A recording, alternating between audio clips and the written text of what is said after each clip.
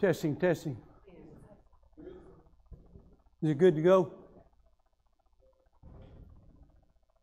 Good to go? All right.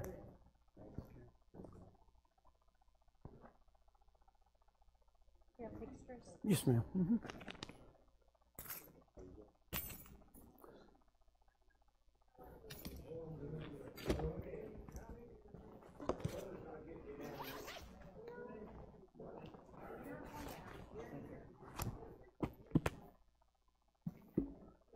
All right, good morning. Good to see everybody this morning. Some people got rain on the way in. They didn't take a picture of so we don't really know what happened. So, man, it was getting so hot out the other day. I saw a couple of those worms out there, or birds picking up the worm with potholders. so, we got problems. We got one. Okay. Everybody got a lesson?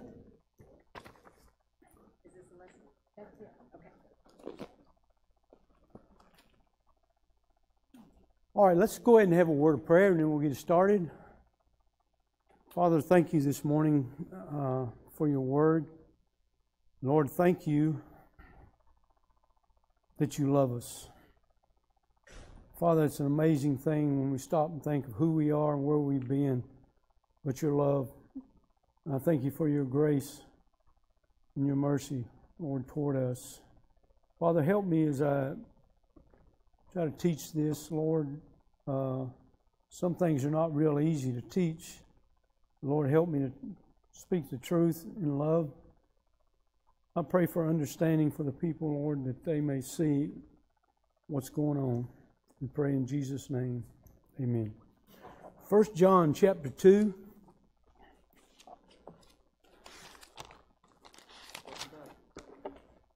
Yeah. Yeah, they had a, thing over there for women, the ladies to eat the breakfast. I hope you got. I'd made a suggestion on that, that breakfast. I said, when y'all get finished, could y'all come over here and, and serve us? When I picked myself up off the floor two days later, I didn't think it was a good idea. anyway. anyway, First John chapter 2, read about four or five verses here. Notice verse uh, 7. Brethren, I write no new commandment unto you, but an old commandment which ye had from the beginning. The old commandment is the word which ye have heard from the beginning. Again, a new commandment I write unto you, which thing is true in him and in you, because the darkness is past and the true light now shineth. He that saith he is in the light and hateth his brother is in darkness even until now. He that loveth his brother abideth in the light, and there is none occasion of stumbling in him. But he that hateth his brother is in darkness, and walketh in darkness, knoweth not whither he goeth, because that darkness hath blinded his eyes. So, as what we see, again, we started last week and we uh, started talking about uh, some, some proofs that one really knows God. In other words, again, let me uh, reiterate some things. Uh, First John, again, is written uh, to Christians. He, he says right here, I write unto you, brethren. Then he says, you know, and then we'll get next week, Lord willing, uh, verses 12 to 14, you're going to see uh, children, my little children. He uses that about eight or nine times. So we know that, uh, again, we're talking about people that have professed salvation. Talking about save, to save people. But at the same time, again, we would have to check our own lives because he makes some pretty strong statements here um, uh, about last week it was about commandments. In other words, he that saith that he loved God and keepeth not his commandments is a liar. We didn't. Uh, the church didn't say that. God said that. In other words, the Bible says, He that hath my commandments and keepeth them, he it is that loveth me. And I will love him and I will manifest myself unto him. That's what Jesus said in John over there 14, verse 21. And so, uh, again, we see the, the, the ideal thing of what John is trying to get across is this thing of fellowship. Chapter 1, verse 4 to 7, we, we talked about uh, the fellowship there. It's found four times, the word fellowship. And so there are certain things that uh, say, in other words, uh, a person cannot say that he's in fellowship with God if he hates his brother. And because he's walking in the darkness. And in chapter 1, it says, you know, he that saith he abideth in him and walketh in darkness is a liar. Again, uh, the Bible's pretty strong. That's why I was saying in the prayer, when I was praying again, there's some hard things to be said in, in, in things like this, in this book right here. And so uh, John is making it very, very clear. In other words, you ask yourselves, and again, we're going to get in exactly what is love. In other words, what constitutes what John is talking about here. And so, uh, again, uh, when you start talking about love, we're not talking about some sentimental, uh, some sentimental thing uh, that we're talking about.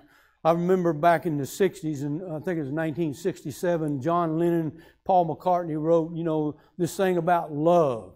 In other words, then they wrote that, I love you, yeah, yeah, yeah, in 1963. That's not the kind of love that John is talking about right here.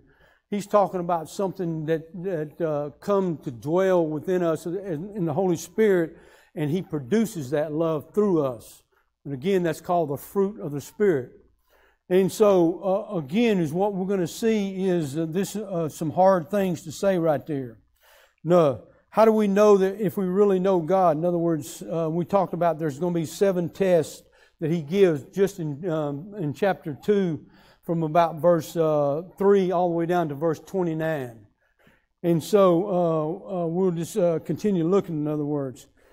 Um, and here's a, here's the thing do we love our neighbor? And again, when we start talking about neighbor, you have to really define it according to what the Bible says a neighbor is. We think it's somebody that lives next door to us that don't cut their grass. We call that, uh, you know. but anyway, uh, when you start talking about neighbor, uh, somebody come up uh, to Jesus at one time, and uh, he says, "And who is my neighbor?" He knew who it was. But he, you know, he didn't want, uh, he didn't like what Jesus was going to say. Jesus said there went a Samaritan down the road and, you know, fell amongst thieves there and he was beaten, stripped of everything he had and left for dead. And along came this Levite. In other words, uh, the religious people came by. And then uh, along came a priest and we see uh, so, uh, some more religion coming by. But then that, uh, that Samaritan came by, or the, another guy. And so that hated uh, the Samaritans. Now, watch. If we hate our neighbor, then we do not know God. That's what he says. You walk in darkness. And here's, here's the thing no matter what we claim, may claim, or how loudly we claim it, we do not know God if we don't love our neighbor. You see, that the neighbor is that person that God puts in your path so that you can help them and be a blessing and strengthen them. And as Christians, uh, we can take the time. Sometime, if you want to uh, take the time and go uh, look up, there's a, there's about uh, one uh, uh, some sayings, one another sayings in the New Testament, as far as a Christian is concerned. Love one another, you know, bear one another's burden. There's about 15 to 20, depending on how you look at the amount of them, but there's a bunch of them out there, and that's what's called loving your neighbor. In other words, doing that uh, uh, to help them. You see, the believer fellowships with God by loving the brethren. I can't be in fellowship, in other words, with God if I'm not in fellowship with uh, my neighbors, you know, especially the people in my church. I don't like her. I don't like him uh, something terribly wrong. We'll get more of that in, in just a minute. God is love. You see, in the kingdom is a kingdom of love. Again, I'm not talking about this literal physical kingdom, even though parts of that will be there when Jesus sets up his kingdom. I'm talking about the kingdom of God now, which is in the heart. In other words, we're, uh, we're talking about righteousness and peace and things like that. Romans 14, 17 talks about that, that uh, type of thing. And so, again, uh, this love. You see, John had been talking about the commandments that we looked in last week, verse 3 to 6. In other words, uh, in general. But see, now he's, uh, he's going to uh, narrow this stuff down. His, fo- his focus is going to be on one single commandment. And you say, what is that one single commandment? Jesus is going to summarize all the commandments by the doctrine of love. Hold your places there in 1 John and turn to a very familiar scripture to Matthew chapter 22. Most of us probably quote this once you see it. Uh, Matthew 22? Yes.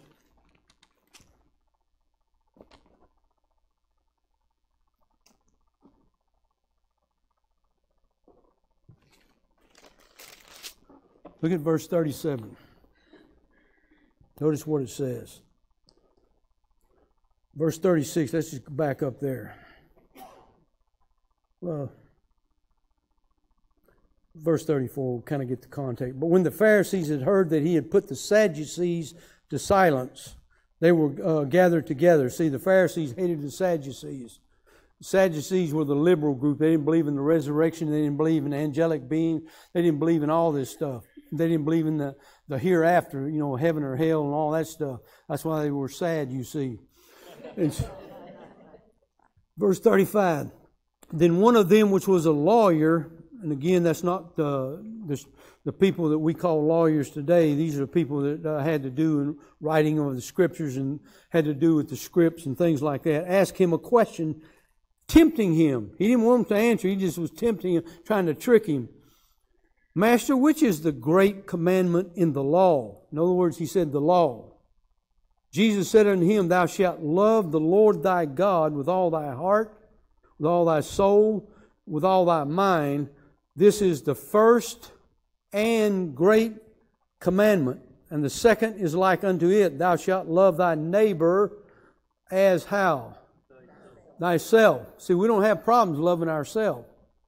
In other words, uh, and I'm not talking about this psychological uh, psychobabble out there talking about, oh, we just got to love ourselves and all this stuff. We already love ourselves too much. That's the problem. Uh, if you stop and think about it.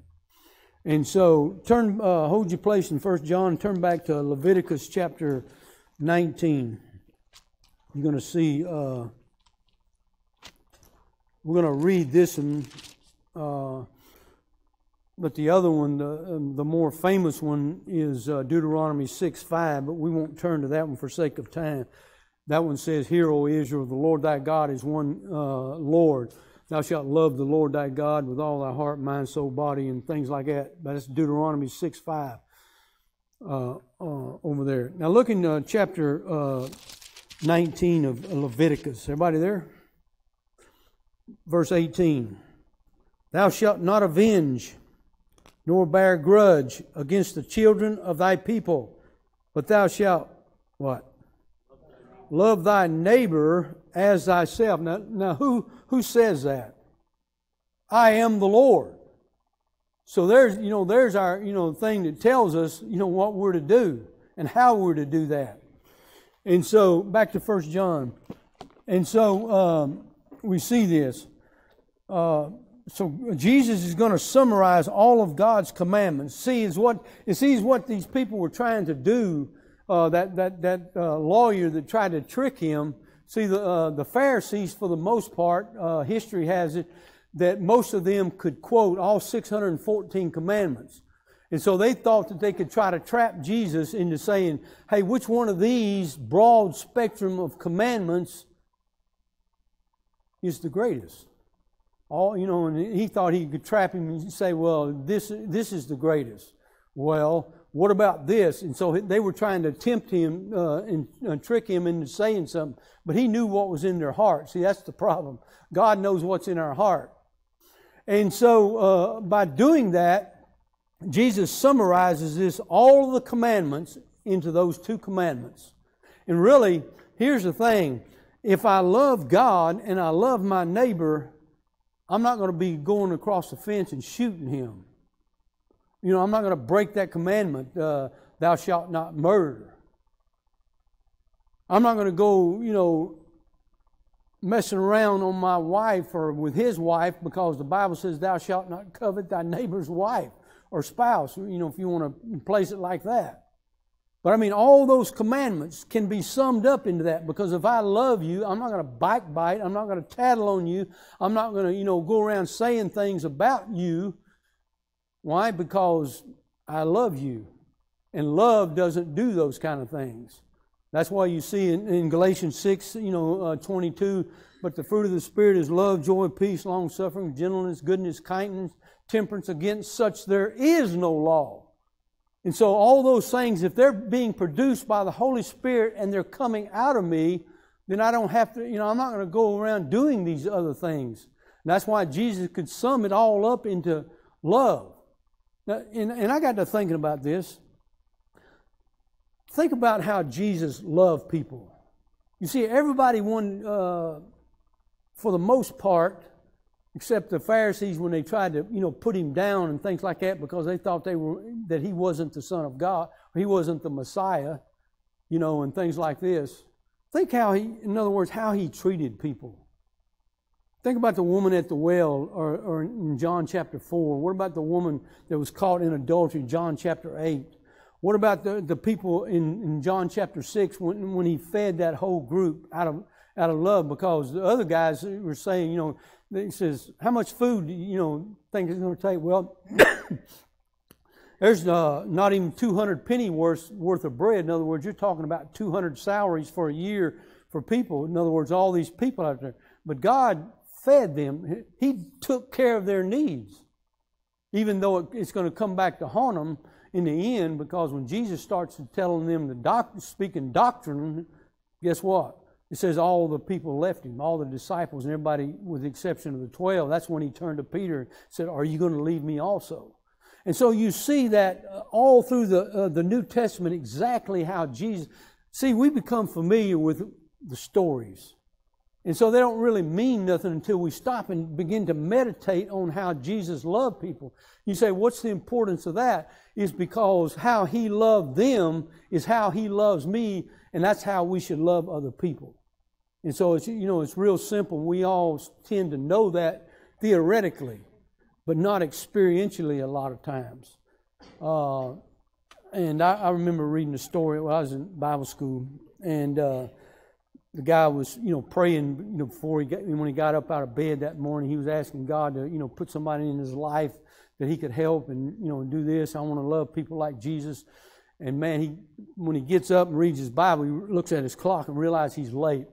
And so he goes scurrying, you know, down down the sidewalk trying to get to class, and uh, he bumps into somebody and uh, practically almost knocks him down. Their books fly everywhere. He just keeps going. You see, that that's not love. uh, that happened to me one time when I about the first week of Bible school. I was rushing like that because I was going to be late, and I'm one of these sticklers for time uh, especially the Army drilled this into, you know, for time and being on time. And, and so I was going, and I actually hit, uh, bumped into somebody, a, a girl. And I just, you know, I didn't knock nothing out or something like that, but I turned around and said, Excuse me, I'm sorry. And uh, kept going.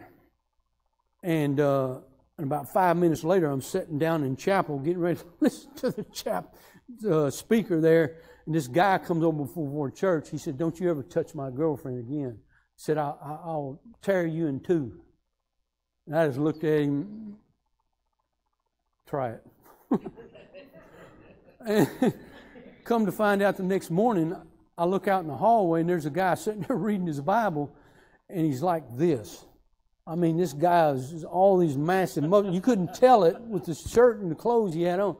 The guy was Mr. Texas in, in, in these world competitions for these weights and stuff. I says, I don't think I'll be bothering anytime soon.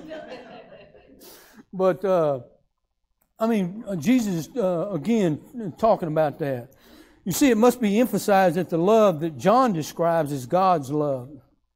Um, now, now, think of uh, a couple of these statements I want to give you. It must be emphasized that the love John describes is God's love. In other words, it's a holy love that distinguishes itself between light and darkness. Look back in chapter 1 and verse 5. Says, This then is the message which you have heard of him and declare unto you that God is light and in him is no darkness. If we say that we have fellowship with him and walk in darkness, we lie and do not the truth. But if we walk in the light as he is in the light, we have fellowship.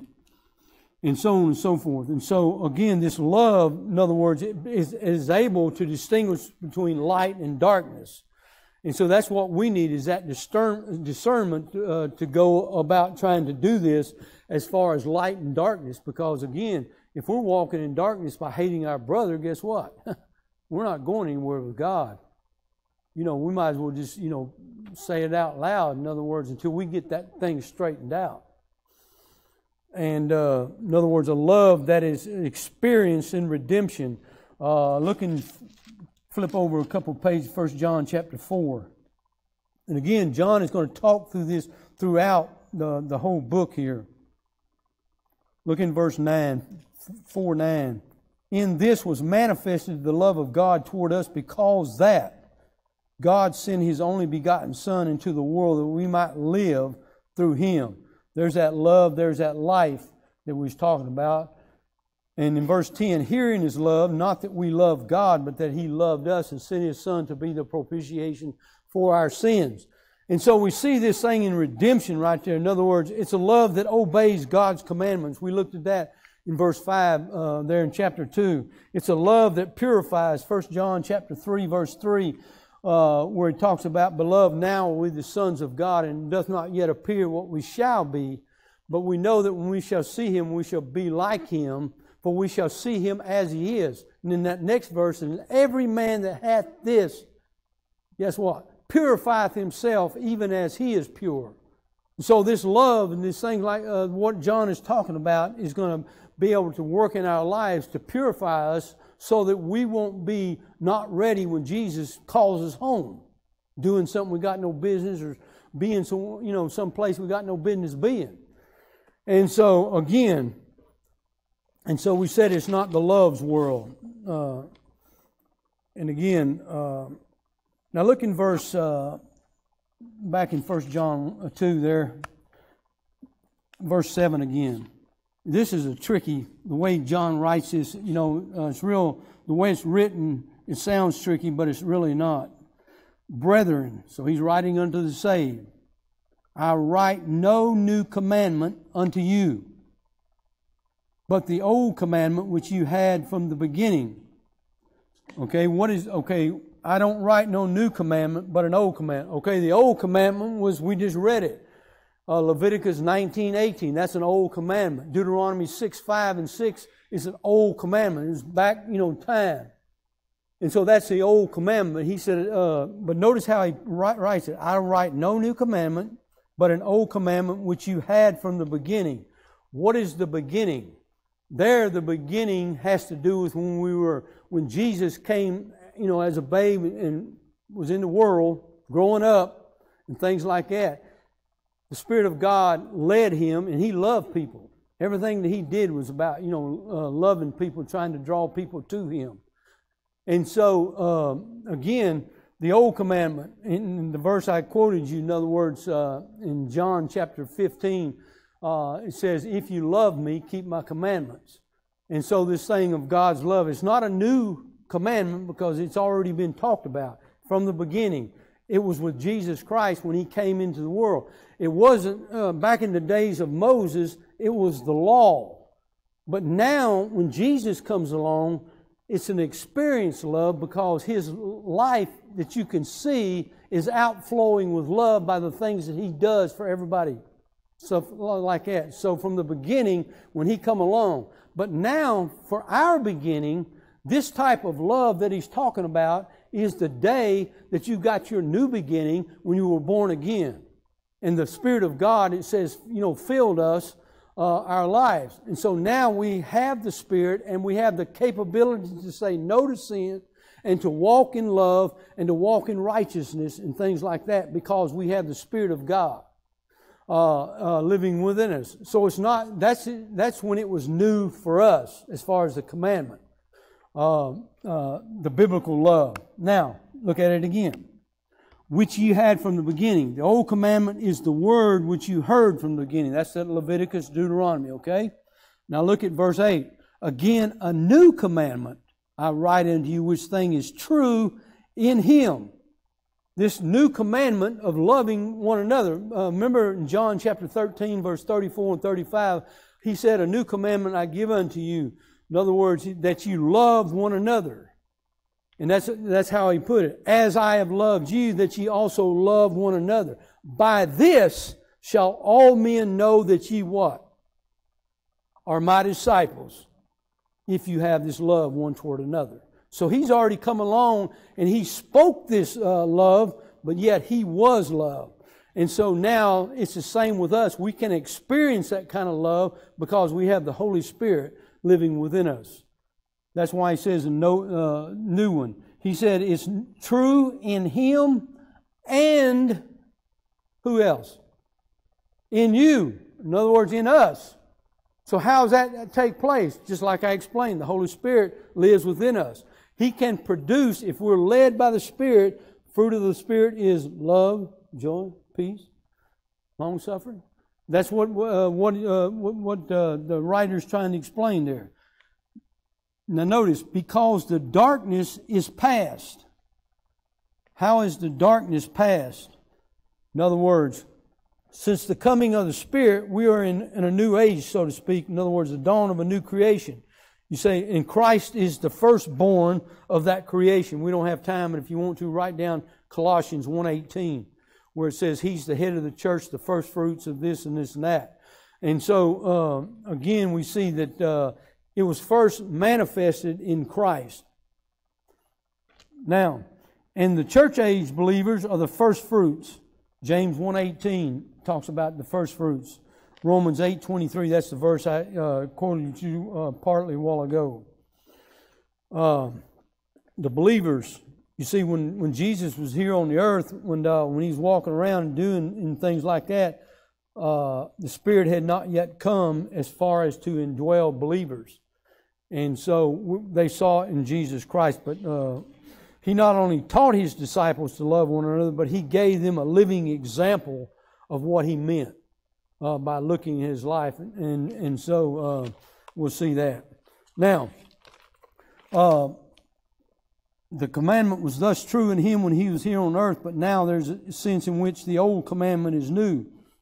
In this dispensation, it is not only true in the Lord Jesus, but in believers. And so, notice what it says the next one. Um, verse 8 because the darkness is past. When a person is born again, they are taken out of darkness. Ephesians chapter 2, and you who were dead in trespasses and sin. Then you're talking about in Colossians chapter 1, verse 13, where it talks about uh, how that we were passed from darkness into his marvelous light. And so, uh, again, we have that light. And that's what John talks about. If you walk in the light, he's talking about the life that we just read a while ago. This life, love, and all these things, they fit together because it gives us a picture of Jesus Christ, who was the light of the world. The Bible says in John 8 12, I am the light of the world. And so, uh, again, uh, the true light, notice what it says right there. And the true light now shineth. You say, what is the true light? It's the gospel. The Bible says in 2 Corinthians chapter 4, verse 4, where it talks about, In whom the God of this world hath blinded the minds of them which believe not, lest the light of the glorious gospel, which is the image of God, should shine unto them. And so now we have that light. And so uh, he's saying, The true light now shineth. You see, wherever the gospel goes, it brings the true light to the lost.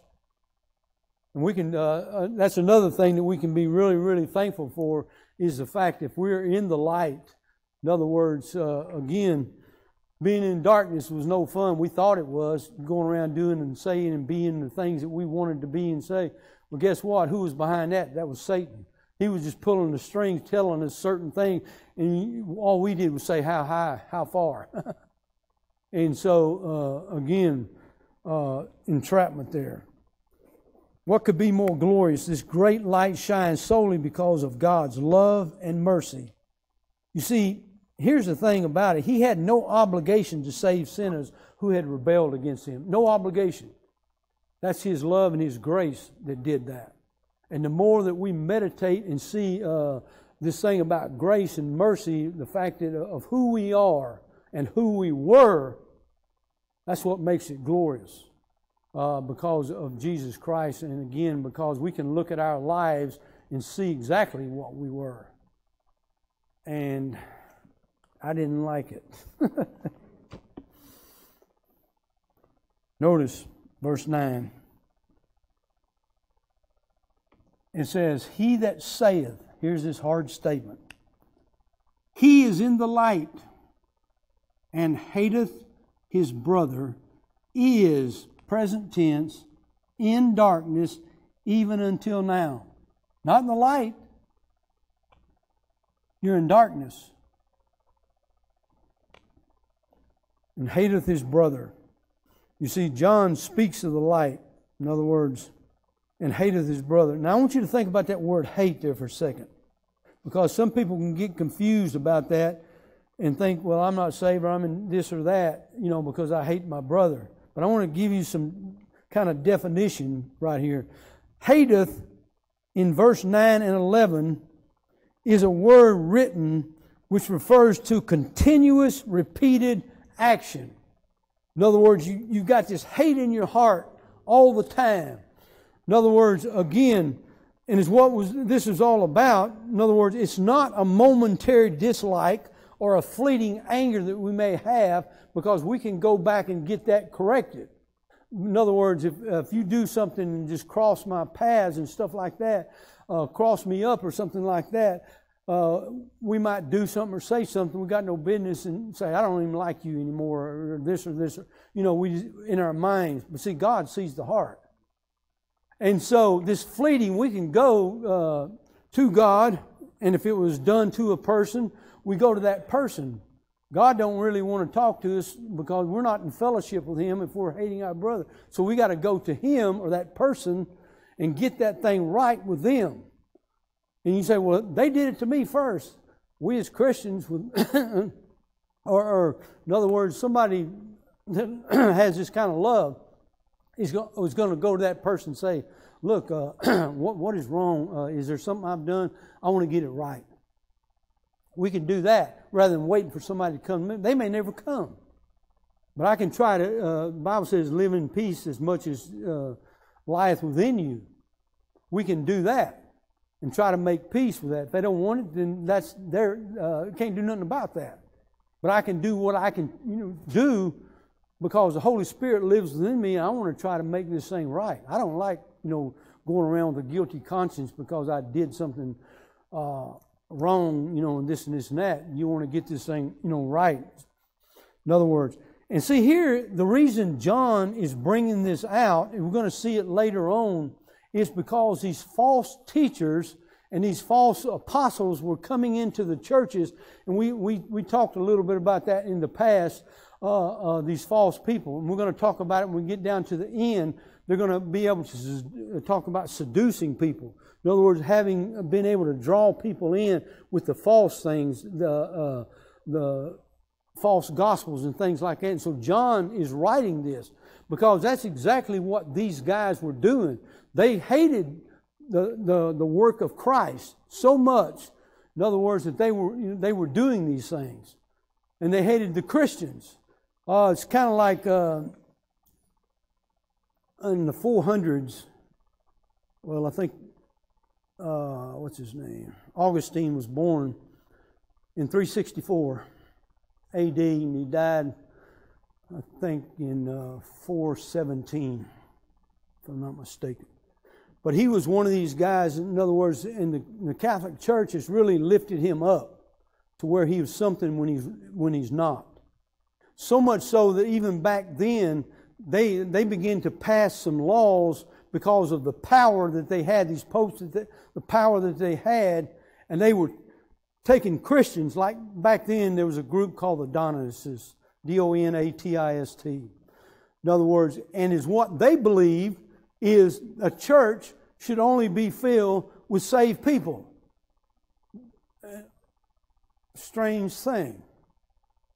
But the, the Pope and all those, those guys that were doing what they were doing, they were, if they didn't believe that, they were taking their property, they were killing them, they were doing all kinds of things, and we can read about this in history. It's not something that you know that uh, that's hid under a rock. Uh, Pope uh, uh Innocent the First, uh, when he came along, uh, and stuff, they started passing what they, put out what they call bulls and uh, these papal agreements, you know, because I got the power. And that's what all these crusades, that's what all this stuff was basically about, is the fact that uh, who's going to get the power? really. I mean, when you boil it right down to that, it's, you know, who's going to get the power? and so, you see people like that all through. They hated Christ and what he stood for, just like what John is preaching about these, these false uh, Christ here. Paul talked about them in 2 Corinthians 11, 3, uh, and also in 2 Corinthians 11, 15 to 19, I think it is, where it talks about false apostles and all these things like that. And the devil, uh, he can go about changing himself into like an angel of light. In other words, he appears. We'll get to that when we get to 1 John 4 when it talked about Antichrist uh, and things like that. But we got all this stuff going on in the world today. That's why you see all these religions that sound good on the surface, and so people snatch that stuff, but that's not what the Bible teaches. You see, the, uh, that's the whole problem is, you know, the Bible doesn't teach those type of things. And so and that's why it says, you know, that the, the Word of God is, you know, is first, in other words, uh, inspired by God, uh, is proper for doctrine first. And so, in other words, doctrine is what we teach. And so, uh, according to what the scriptures say.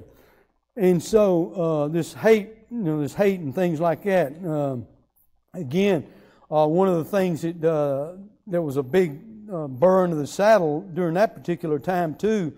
Well, uh, one historian by the name of Neander, when he wrote about that, it was this infant ba- baptism.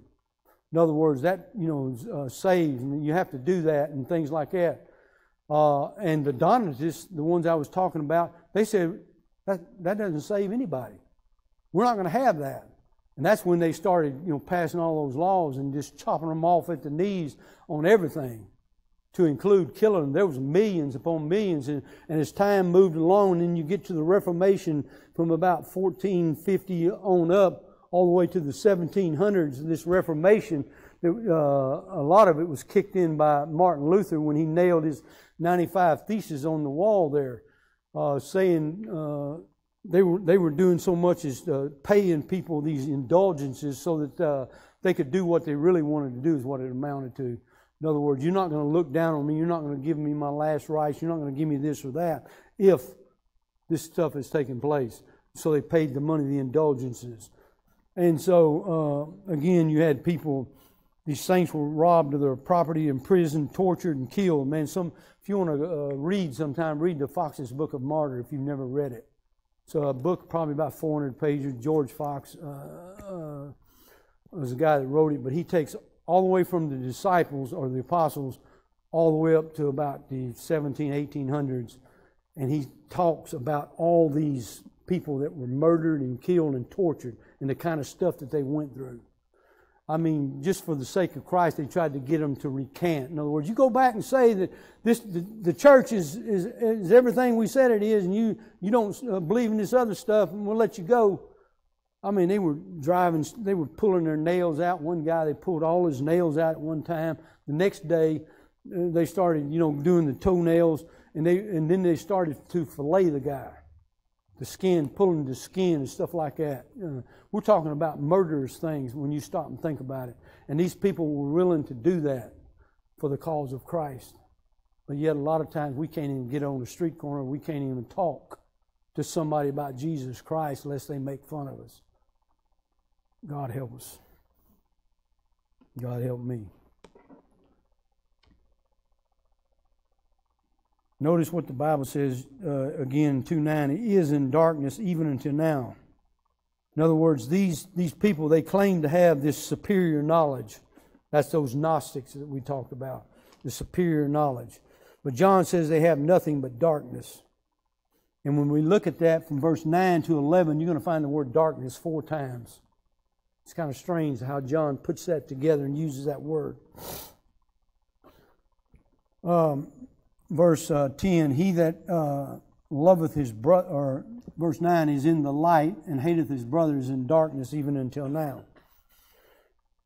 Uh, he that loveth his brother abideth in the light, and there is none occasion of stumbling in him. Look at verse 10. He that uh, loveth his brother abideth in the light, and there is none occasion of stumbling. See, if I if I you know, uh, if I have love in my heart for people, it's going to be hard for us to, for to stumble. In other words, to cause somebody else to stumble. In other words, they see my life, and if it's not, in other words, I say, I love Jesus, you know, got the bumper sticker on the back of my car. The guy, you know, does something, gets, gets out at the mall up there and starts to curse at you and stuff like that. And then you want to fight the guy. No wonder people, I think it was Gandhi back in the 20s or what, uh, whatever it was that said, he said, I would be a Christian if it wasn't for Christians. That's a true statement to a lot of people. Talk to them all the time. Stuff like that.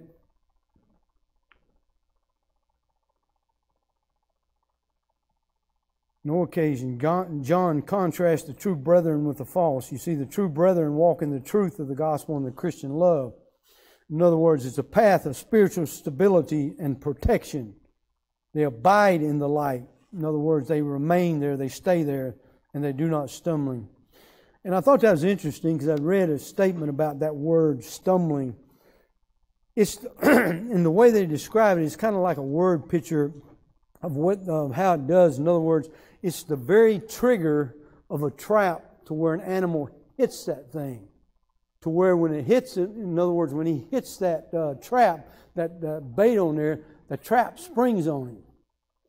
And so this particular word is what it amounts to is there will be no occasion of, of, of allowing the Satan to, to do that, and we stumble if we're walking in the light, in the light of the Word of God, and you know, walking in the light as Jesus did.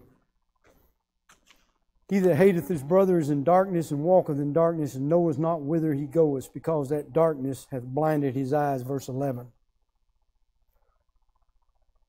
That's a loud warning. You see, spiritual blindness is a fearful thing. I want you to think about that statement. Because we we hear the Bible, and for regular, you know, if you go to church regular and you, and you try to read the Bible and pray and do what's right and things like that, we should be fearful.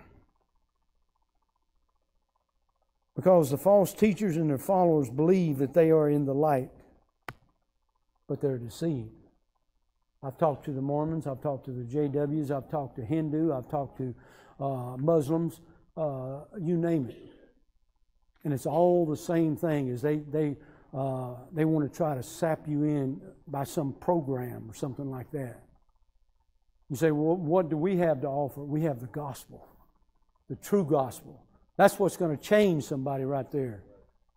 This is what's going to change somebody right here, is this book right here. It's not our fancy saying, it's not something like that. But when we're loving people, genuinely loving people, guess what? We're going to change the, the, the world's going to be. That's how the apostles did it. It says they turned the world upside down. And there was only 11 of them.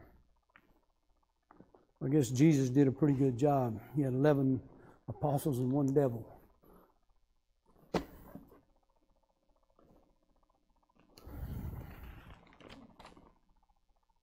John is saying that those who choose to follow the Antichrist or those teaching are blinded by darkness.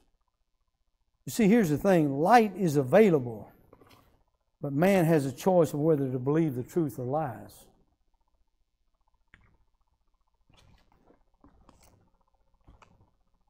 Somebody said it like this. I think it was might have been Bob Jones. I don't remember. Light rejected becomes lightning. I know Dr. Ruckman preacher used to say that. I used to hear him say that light rejected becomes lightning and stuff like that. And uh, if we're not careful.